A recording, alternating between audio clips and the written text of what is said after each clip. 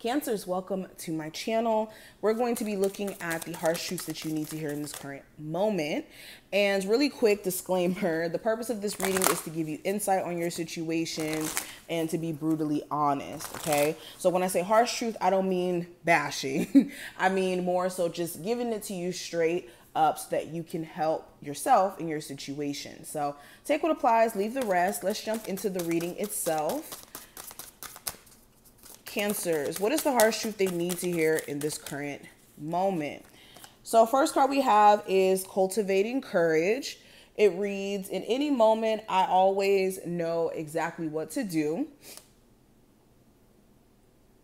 So, first truth that you may be needing to hear there's a need for you to not be scared.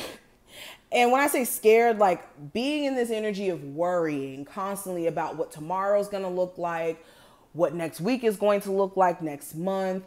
All this is doing is keeping you in a position of being scared to do anything out of the norm. And at that point where you're just kind of staying stagnant and not making progress, that's when you're really in trouble. So stop letting fear of the future kind of stop you in your tracks in this current moment, especially when it comes to taking those risks that require you to have courage especially if you're trying to start a new business, you're trying to start a weight loss journey, you're trying to move to a different state, whatever this is, fear could be your worst enemy in terms of you stepping into a space of courage and you being able to succeed. All right, let's keep going. We also have discovering happiness.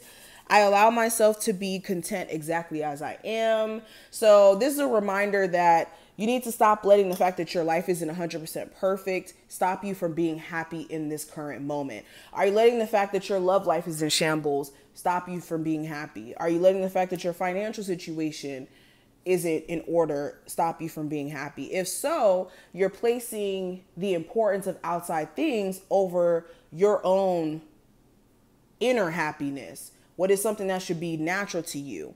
And I always say this happiness is a choice.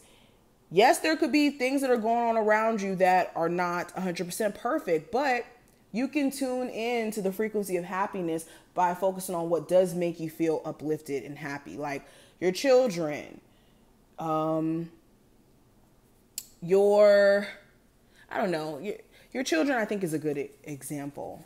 You guys get what I mean. But let's keep pulling more cards.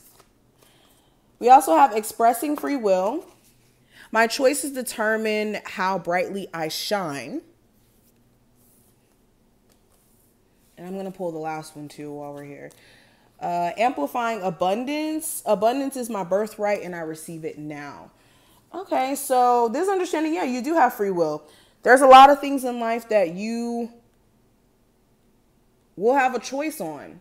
And in you having free will, it's important to know that this can, you know, be a good thing and a bad thing because in us making our own choices we also don't let um, we don't have the full understanding of the bigger picture at times so in you having free will make sure you are not thinking small or limiting yourself by making decisions that you know will just affect you for the right now or you're looking for like temporary results from especially when it comes to like business stuff that you want to accomplish. I'm picking that up strongly. All right, so let's keep pulling cards. What is the harsh truth my cancers need to hear in this current moment? Spirit is saying that you could be making more money, but you could be playing it way, way, way too safe. All right, so we have Mark each day's end with gratitude. And this card says focus on the present as it's here that change occurs. So this literally goes right back into what I was saying earlier. You need to make sure that you're purposely feeding into the vibration of happiness and knowing that at the end of the day, regardless of how messed up it was, if this happened, if that happened, if you focus on what you can be grateful for, and even if it's the little simple things, I promise you it will not make your situation feel as bad.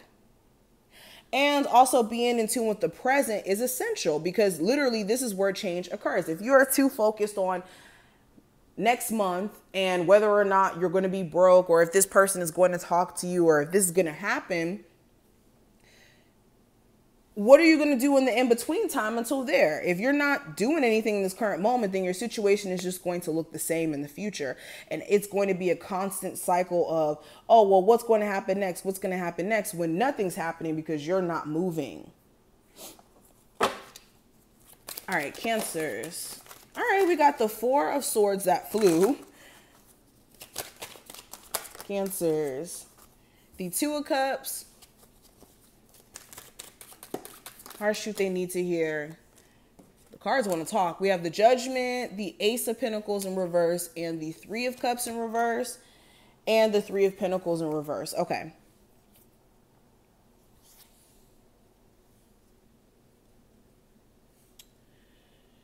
So you need to be careful of sleeping at, how do I say this? You could be needing to be careful of sleeping on your ideas or your dreams. With the Four of Swords right next to the Two of Cups, you could be waiting for like a business partner to get started on a creative endeavor or a business partner to get started on a business idea. But spirits like realize if you're not on board fully with whatever you're trying to execute in a business or creative idea, how can someone else join that same team and also be a benefit to you? And if you currently are in business with someone else, you could be needing to reevaluate who your business partner is and whether or not they're pushing you towards growth within that business or just being a hindrance. When it comes to a sleep schedule as well, the truth is, the reason why you feel lethargic or you don't have the energy to get things done could be due to the fact that you're not sleeping enough or you have way too much on your mind going to bed and you never fully get rest. You just maybe in a dormant state, but your mind is still running.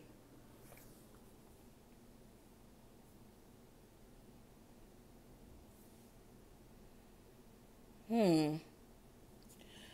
Another thing I'm getting, the harsh truth is you need to know the difference between quality over quantity. Just if you're just because you could be dating multiple people or even just dating someone as of right now, just because this is somebody to just have around does not mean that they are of quality. Every person that we date, you're going to have to distinguish them between them being quality or just someone to be around.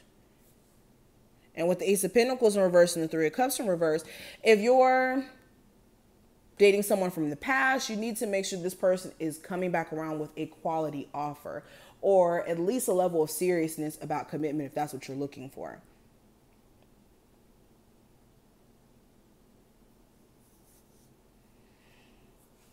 Hmm. Some of you guys have coworkers who really hate on you in the workplace. And the truth is, the only way you're going to get away from this hateful environment is if you level up and quit. And all this could be literally pushing you to elevate for a reason. But let's pull one last card for you, Cancers. What's the final message? So we have do the work. It's not enough to dream or pray. You also got to take the positive action steps that you're being divinely guided to take. Consistently work on your priorities will make them, or consistently working on your priorities will make them flourish like a lush flower garden. So, yeah, this is knowing that you're going to have to put the, the effort in all that you desire is just requiring you to show up. So this is what I see. I hope you're able to take something from this reading. You did, definitely thumbs up the video, subscribe so you never miss a beat, and I will see you later.